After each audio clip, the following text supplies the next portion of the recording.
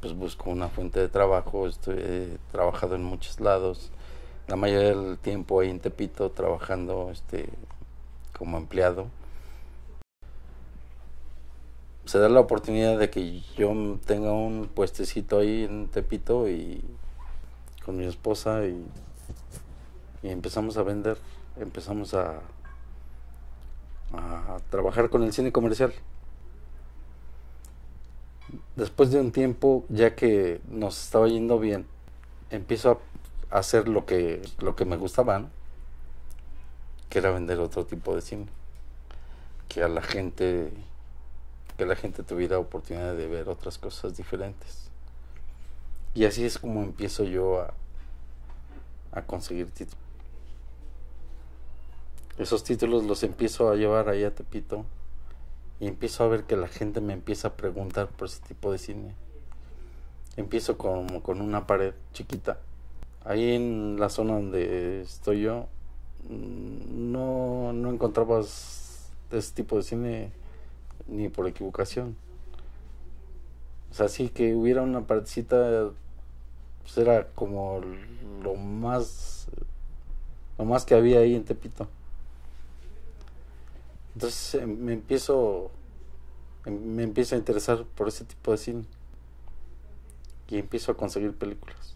Y empiezo a conocer gente. La misma gente que va te, te empieza a decir. Y así poco a poco me voy haciendo de mis títulos. Y al cabo de más o menos aproximadamente un año ya tengo ya deseché todo el cine comercial. Y ya empiezo a vender puro cine independiente entonces los mismos clientes que van ahí te, te dicen, oye, ¿sabes qué? Que mira, yo tengo esta película. O algunos muchachos que iban y me decían, oye, ¿sabes qué? Que yo tengo estas películas, te las cambio por otras que tú tienes. Ah, pues órale. Entonces, entre que cambias unas y consigues otras, pues ya te vas haciendo de más material. Sí, pues es por falta de oportunidades. Mi comercio informal yo creo que siempre va a estar siempre va a existir mientras no haya oportunidades reales, oportunidades reales de que la gente se desarrolle.